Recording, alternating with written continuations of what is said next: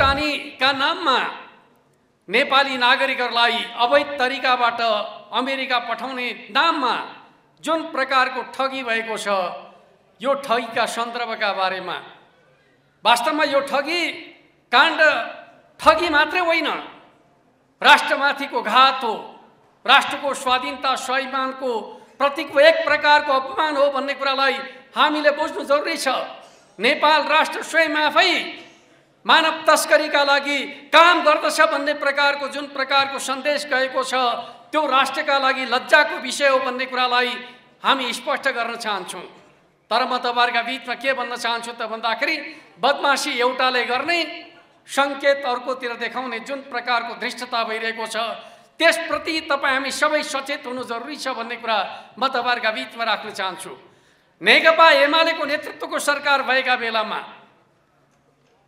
बाँकी रहेका भुटानी शरणार्थीहरूका सन्दर्भमा उनीहरूको व्यवस्थापनका सन्दर्भमा के गर्नुपर्दछ भन्ने उद्देश्यका साथ कार्यदल बनाइएको थियो भन्ने कुरा सार्वजनिक भइसकेका छ। त्यति बेला बनाइएको कार्यदलभित्र नयाँ कुनै व्यक्तिलाई भुटानीका रूपमा प्रमाणीकरण गर्ने विषय त्यो कार्यदलको विषय नै थिएन।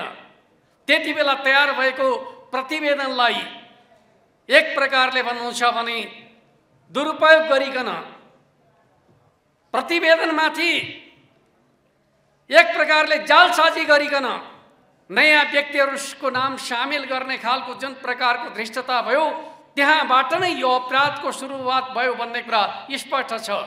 त्यो कुन समयमा भयो भन्ने कुरा स्वाभाविक रूपमा नेकपा एमालेको नेतृत्वको सरकार हटिसकेपछि परमादेशको नेतृत्वको सरकार बनिसकेपछि जसले गृह मन्त्रालयको जिम्मा लिएका थिए उनीहरूको योजनामा एक प्रकारले भन्नुहुन्छ भने भुटानी शरणार्थीको व्यवस्थापनका सन्दर्भमा गरिएको कार्यदलको अध्ययनको रिपोर्टभित्र नयाँ नामहरू समावेश गर्ने जुन कृत्रिम धन्दा गरियो भित्र नेपाली नागरिकहरूलाई ठग्ने धन्दा सुरु भएको थियो भन्ने कुरा बाहिर आइसकेपछि अनेकन ढङ्गले तथ्यलाई लुकाउने खालको जुन प्रकारको प्रयास भएको छ त्यसप्रति हामी खबरदारी गर्न चाहन्छौँ।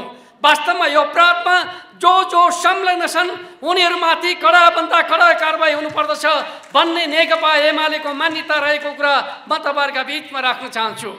आज उनीहरूकै स्वर ठुलो छ जो नेपालमा भ्रष्टताका लागि कुख्यात छन्।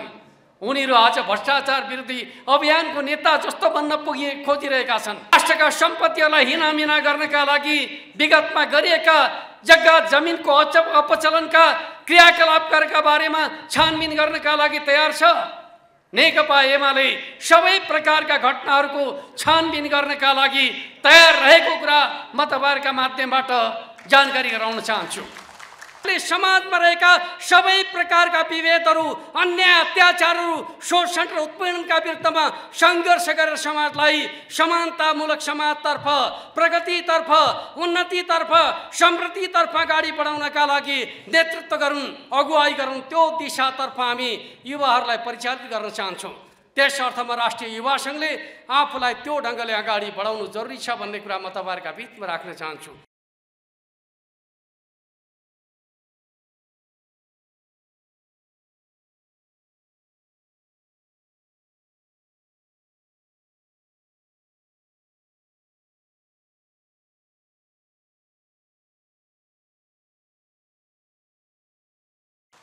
चाहे मूल्य वृद्धि चाहे महँगीको विषयमा हरेक आवाजको नेतृत्व गरेको अगाडि कुरा किन नहोस्? चाहे एउटा अर्थ बजेटमा खुलेआम भ्रष्टाचार गरिन्छ सिसिटिभी फुटेज डिलेट गरिन्छ करको दर रेट हेरिन्छ दर रेट फेरिन्छ र अर्बौँ भ्रष्टाचार हुन्छन् खुलेआम हिँड्छन्। त्यस्तो भ्रष्टाचारीलाई घोडा टेकेर राजीनामा लेखाउने काम पनि यही युवा सङ्घ नेपालको आन्दोलनमा भएको थियो। रोजगारको अभियानमा लानुपर्छ। अबको एक मात्रै विकल्प भनेको युवालाई आत्मनिर्भरता हो भनेर अगाडि बढाएर युवा रोजगार कोषको स्थापनाको अगुवाई गर्ने कुरा किन नहोस्? चाहे एउटा विद्यार्थी पढिसकेपछि विचलित भएर सडकमा घुम्ने कुराको अन्त्य गर्नुपर्छ सर्टिफिकेटको एगेन्स्टमा लोन दिने व्यवस्थापनको कुरा किन नहोस्?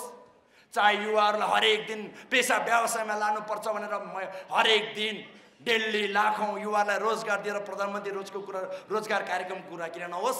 यति धेरै युवाहरूका उपलब्धि युवाहरूका मुद्दाहरूमा आवाज उठाएको छ यो सङ्गठन लिएर हासिल गरेको छ त्यसको एक मात्रै अभियान त नेतृत्वकर्ता युवाहरूको सङ्गठन राष्ट्रिय युवा सङ्घ नेपालै हो।